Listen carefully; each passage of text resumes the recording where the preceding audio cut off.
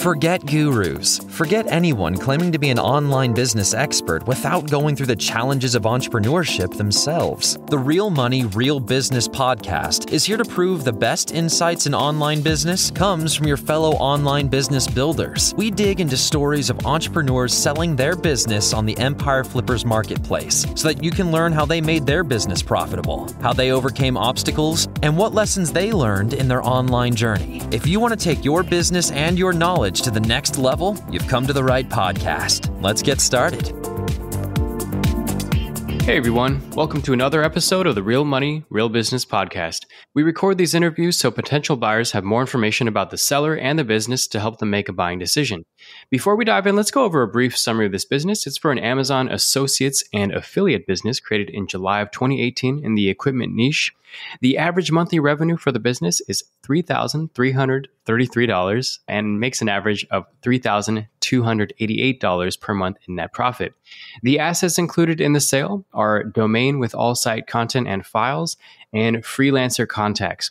For everyone listening, you can visit empireflippers.com marketplace and search for listing 59468 to learn more about the business, or you can unlock this listing to start your due diligence if you're interested in purchasing this asset.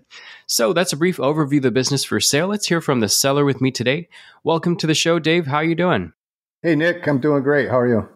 I'm doing great as well. And I'm looking forward to learning more about you and your business. So, to start us off, can you tell us a little bit about your background in building and running online businesses? Sure. So, I actually started in direct marketing, primarily in a B2B service niche for the most part. And I did lead generation and pay for performance type deals. And I did that for quite a while before I ever transitioned into the online space. And then I eventually transitioned 100% into online doing lead gen and affiliate marketing. So I've been doing this for a while, back when there was AltaVista. That'll tell you it's been a long time. So. Got it. Starting off lead gen and affiliate marketing. Do you find that has helped you now with some of these more modern business models, like just the Amazon Associates model, for example? Absolutely. You know, I mean, the you're still dealing with the search engine optimization and content marketing and all the things. It's just, you know, some of the methods have changed a little bit, but it's definitely been beneficial to do anything like what we're doing now. So Got it. And I know that this was a relatively recent acquisition of yours. I guess what was your thought process or why did you choose this specific site or this business in general? Or if you wanted to talk about the niche as well, whatever you wanted to discuss. Yeah.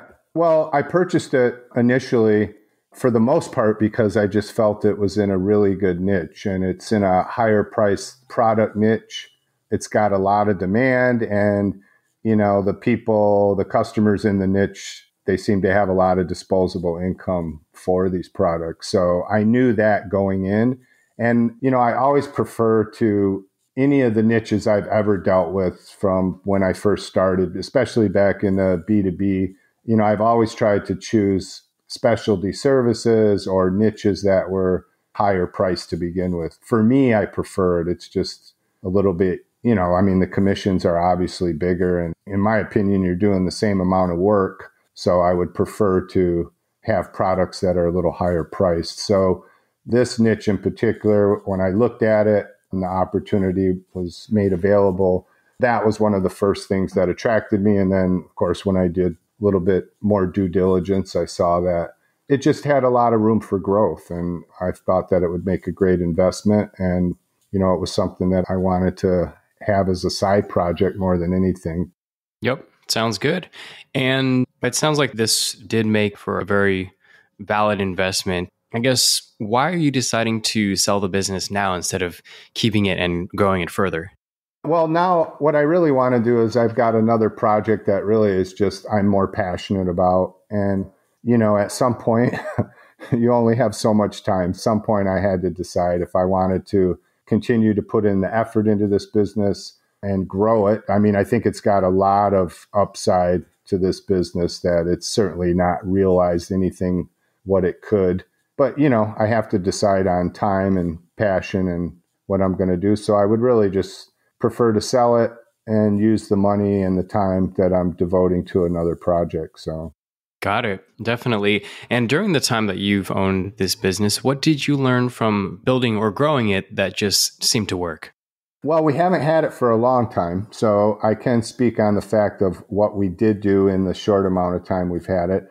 One of the things we did initially, so when I initially first bought it, I just let it sit for the first couple months. We didn't do anything and then we went in and edited the content. It doesn't have a tremendous amount of content on there, which is, you know, amazing that it's really able to do the revenue it does with a small amount of content, which I think just speaks to the, you know, further potential it could have.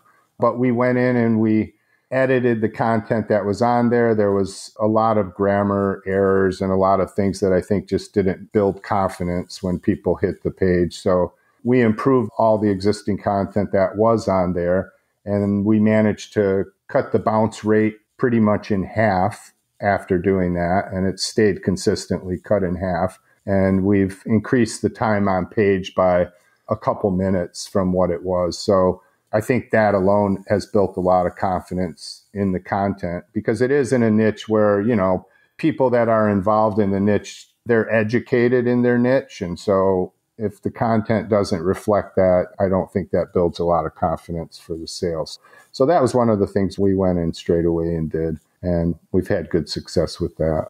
Got it. Awesome.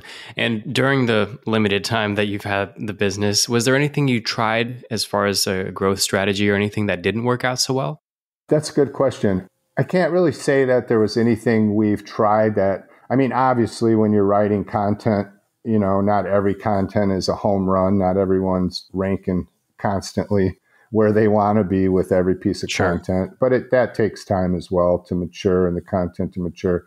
I guess if I was going to say there was any real challenge, it would probably when you're hiring writers, because we do outsource our content writing to a couple writers. And I think, you know, anytime you're dealing with writers for any niche, you have to kind of sift through the mix and kind of find the right combination of talent with expertise and you know find people you can work with that you gel with and whatnot. But i mean i've had that over the years with every single niche i've ever been in. So i wouldn't say it's a huge challenge. It's just something you do have to be aware of and you have to go through. But i mean in all honesty this type of business is a pretty straightforward business model. And you know it's not brain surgery. It's not super complicated to manage and run something like this. I've certainly had a lot worse worse types of businesses to run and try to manage. So I think this is, you know, it's a pretty straightforward, simple business model. I mean, you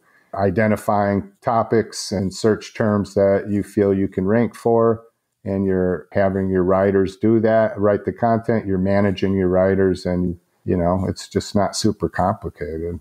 Got it. And that does kind of maybe that's less spoken about the back end of hiring talent to make sure the bus is still moving. And maybe that's another your point about going into niches that are just higher priced items that have a larger profit margin, ideally, just being able to hire that talent on the back end.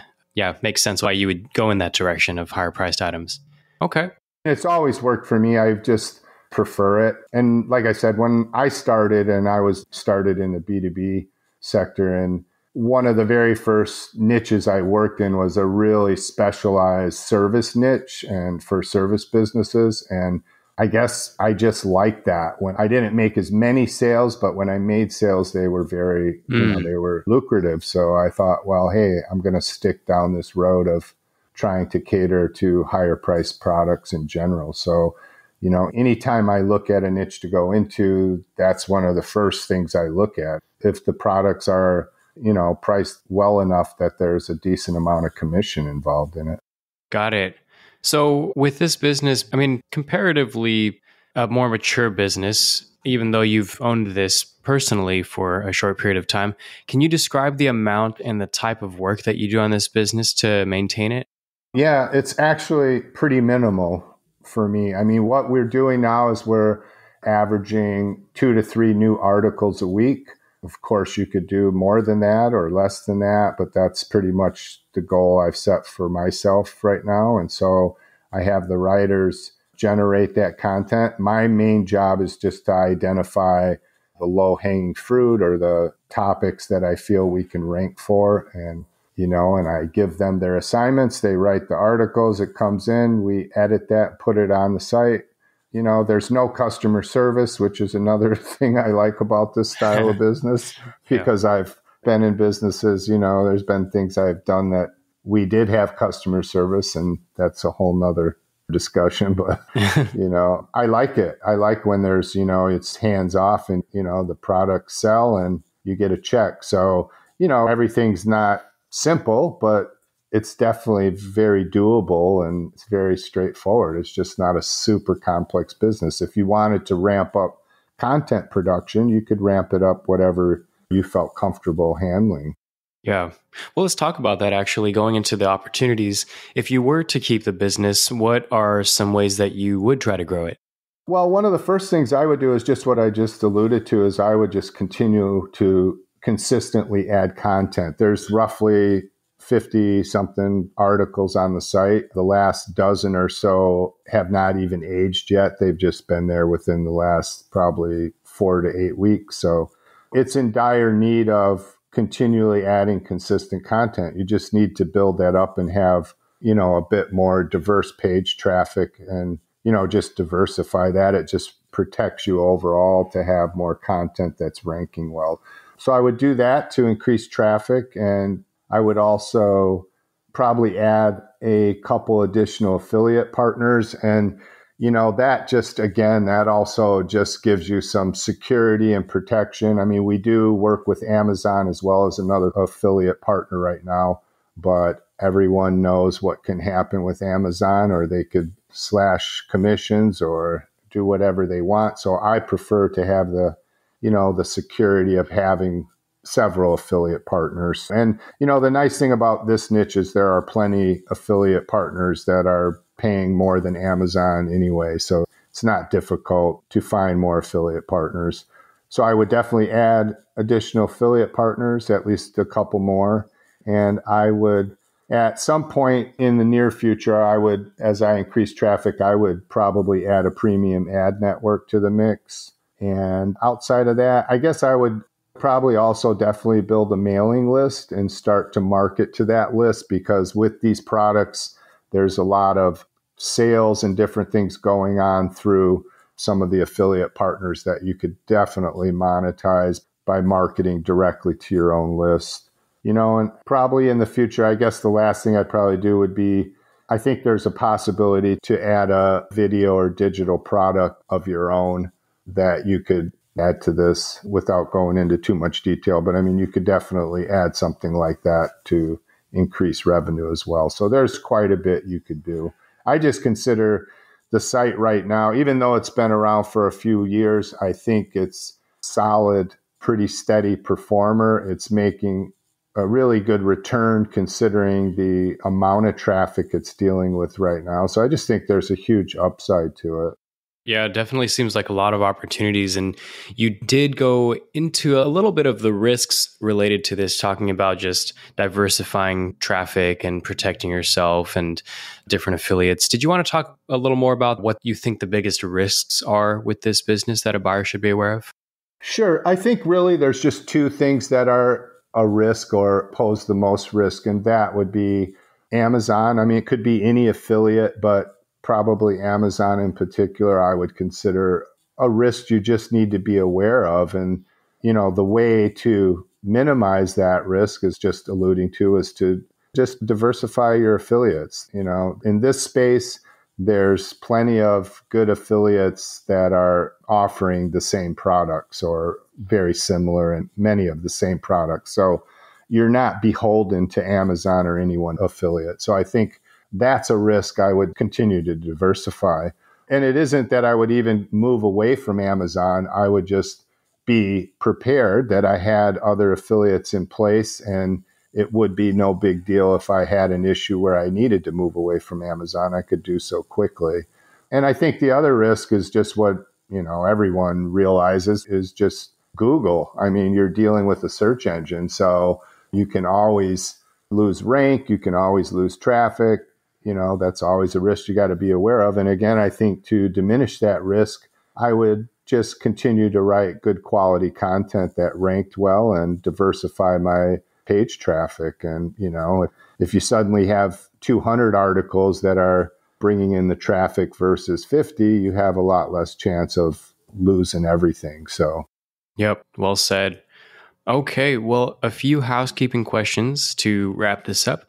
How much support are you willing to offer a new buyer?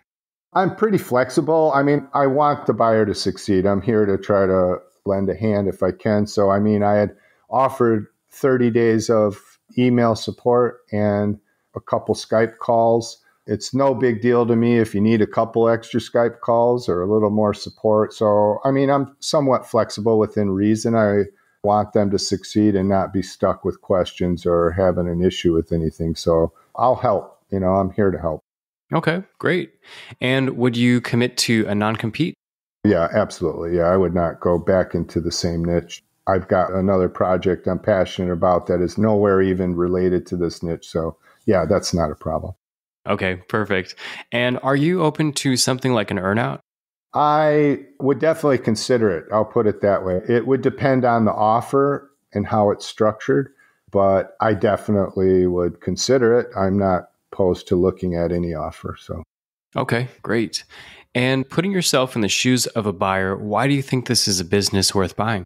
You know, it's a nice, straightforward, simple business model, and it's kind of already went into that part of it. But I think also it's just the fact that I'll tell you, it's the same reason why I purchased it is that it can usually take a couple years for a site like this to kind of gain some traction in Google, get some decent DR ranking and or rating and it's like you know you've kind of bypassed all of that. You're getting a site that's already earning some consistent profit and it's proven. So it's a proven business model. It works. You're not spending a couple years to find out if you've got a good ideal that's working or not you know it's working. And i think the other thing i really like about it is that you know you're making enough profit that you can take a small piece of that and pay writers and pay people to do work and still make a profit and put in your pocket. So you know it's a self-sustaining business model right off the get-go. Got it. And last question potentially. Is there anything you'd like to add that you think i might have missed during the interview no i think you about covered it nick I think you did a great job with these answers. Okay, well, Dave, I think this is the perfect spot to wrap this up. So thanks so much for sharing your story and joining us on today's episode. And yeah, I hope your business is purchased in the near future and by the right buyer. Great. Thank you, Nick. It was good talking to you. You as well. All right, everyone, thanks for listening. To learn more and see if this listing has already been sold, head over to empireflippers.com slash marketplace and search for listing number 59468. And if you're watching this on YouTube, click the link in the description to go straight to the listing. And once you've unlocked this listing, you'll be given everything you need to know about this business. So until next time, enjoy your digital journey.